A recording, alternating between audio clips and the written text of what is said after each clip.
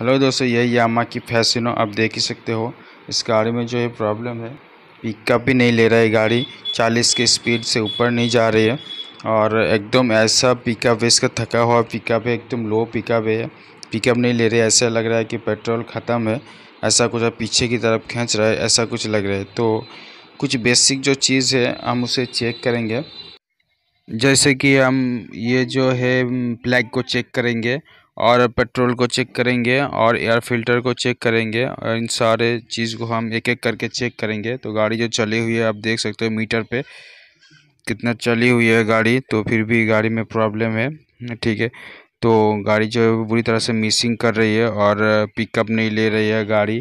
चालीस के ऊपर नहीं जा रही है। तो ये प्लग कैप है, इसे चेक करेंगे और यहाँ पे एक एयर फ़िल्टर है, इसे भी चेक करेंगे।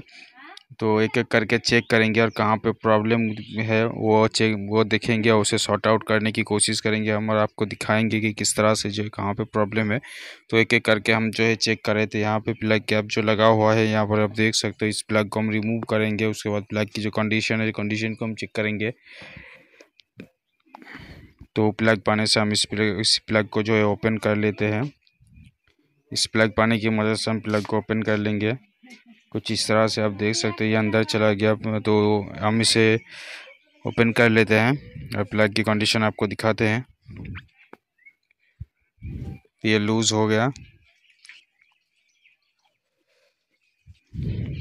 तो प्लग की जो कंडीशन है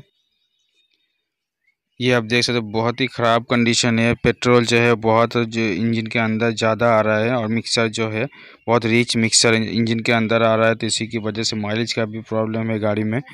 तो इस प्लग को हम चेंज नहीं करेंगे। और इसे अच्छी तरह से क्लीन करेंगे। क्लीन करने के बाद इसी प्लग को हम लगाएँगे फिर से और मुझे लग रहा है प्लग का प्रॉब्लम नहीं है। तो ये जो पुराना प्लग है, उसे हमने अच्छी तरह से क्लीन कर दिया है और इसे बाइक में फ़िट करते हैं। ठीक है तो इंजन के अंदर जब ज़्यादा फ्यूल आने की वजह से माइलेज का भी प्रॉब्लम है तो कहाँ पे प्रॉब्लम है एक एक करके चेक करेंगे और गाड़ी को सही करने की कोशिश करेंगे।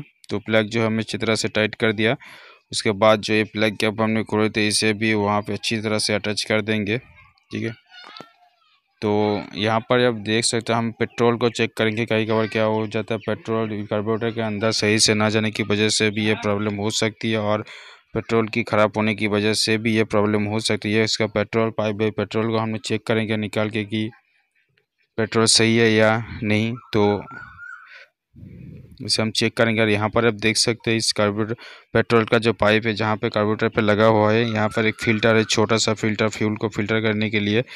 ठीक है तो इस फ़िल्टर को हम चेक करेंगे। यहाँ पर आप देख सकते हैं, अगर कभी कभार जाम हो जाने की वजह से, पेट्रोल ना जाने की वजह से कार्बोरेटर के अंदर ऐसी प्रॉब्लम हो सकती है। गाड़ी में ठीक है। पिकअप ना लेने का प्रॉब्लम तो इसे हमने अच्छी तरह से क्लीन कर दिया। फिर से हम इसे यहाँ पर फिट कर देते हैं। तो ये देख आसानी से ये अंदर कुछ इस तरह से ऐसे फिट करना है। अंदर चला जाएगा। आसानी से पुश कर देना है आपको। ये देखिए, अंदर चला गया। आसानी से फिट हो गया। ठीक है, अब जो है हमें पेट्रोल को चेक कर लेना है। पेट्रोल जो है, वो सही है या नहीं? इस बाइक तो यहाँ पर आप देख सकते पेट्रोल जो है वो आ रहा है। पेट्रोल का कंडीशन भी सही है, पेट्रोल में कोई प्रॉब्लम नहीं है। तो प्रॉब्लम जो है पेट्रोल पे नहीं है तो कुछ और हम चेक करेंगे, देखेंगे चेक करके कि क्या प्रॉब्लम है। तो प्लेटफॉर्म ने चेक कर लिया, उसके बाद यहाँ पर एक चौक है जो गाड़ी को स्टार्ट करनी, जब गाड़ी स्टार्ट नहीं होती है, इसे खींच के स्टार्ट किया जा सकता है। तो इस चौक को भी चेक करेंगे कहीं कभार क्या हो जाता है ये जाम हो जाने की वजह से जो इंजन के अंदर ज़्यादा ज़्यादा पेट्रोल जाने की वजह से भी पेट्रोल प्लग का कंडीशन जो रिच मिक्सर हो जाती है, ठीक है प्लग की कंडीशन जो है वो ब्लैक हो जा, हो सकती है। तो हम इसे अच्छी तरह से क्लीन करेंगे, ज़्यादा डस्ट तो इसमें नहीं है थोड़ा सा है, हम इसे अच्छी तरह से क्लीन करेंगे प्रॉब्लम इसका भी नहीं है, ठीक है। तो इसे हमें क्लीन करके इसे ही लगाना है, अच्छी तरह से क्लीन करके। तो आप देख सकते हो। तो मैंने इसे अच्छी तरह से क्लीन कर दिया है। अब हम इसे फिट कर देंगे। प्रॉब्लम यहाँ का मुझे तो नहीं लग रहा है, ठीक है। और एक चीज़ जो है चेक करेंगे, इसे अच्छी तरह से टाइट कर देंगे। उसके बाद जो है, हमें एयर फ़िल्टर को चेक करना है चेक करना है फ़िल्टर का कंडीशन कैसा है। ठीक है, ये इसका एयर फ़िल्टर है तो सारे नाट को हमने लूज़ कर लिया। तो ये देखिए, ये खुल गया, ये जो है एयर फ़िल्टर का जो कैप है ऊपर का, वो है। इसके अंदर की कंडीशन आप देख सकते हैं, काफ़ी डस्ट है इसके अंदर। तो हम इसे भी अच्छी तरह से क्लीन कर लेंगे। इसके अंदर इंजन ऑयल भी है थोड़ा सा। इसका कंडीशन भी बहुत ख़राब है। ये भाई देख सकते हो मतलब जब गाड़ी उन्होंने ख़रीदा, तब से मुझे लग रहा है कि फ़िल्टर नहीं चेक किया उसने। तो फ़िल्टर का कंडीशन बहुत ही ख़राब है। इस फ़िल्टर की वजह से ये पिकअप का प्रॉब्लम हो रहा था माइलेज का प्रॉब्लम हो रहा था। और इसका फ़िल्टर जो है काफ़ी ख़राब है। एकदम से चौक हो चौक हो चुका है, ठीक है। तो हम इस फ़िल्टर को चेक करेंगे। फ़िल्टर की वजह से ये सारी प्रॉब्लम हो रहा था। पिकअप का जो प्रॉब्लम है, जो चालीस के ऊपर गाड़ी जो है, वो पिकअप नहीं ले रहे थे।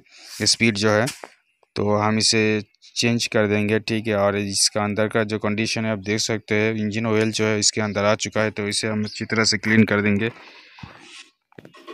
और, फिर गाड़ी को चेक करके देखेंगे। तो फ़िल्टर जो है, मैंने नए ला के लगा, यहाँ पर इंस्टॉल कर दिया है तो मैंने गाड़ी को चलाया, देखा कि कोई प्रॉब्लम नहीं है, बढ़िया पिकअप है, कोई भी प्रॉब्लम नहीं है, और माइलेज का भी प्रॉब्लम नहीं है तो गाड़ी एकदम ओके हो गया है, ठीक है? तो अगर वीडियो अच्छा लगे तो वीडियो को लाइक करो, चैनल को सब्सक्राइब करो। Thank you so much thanks for watching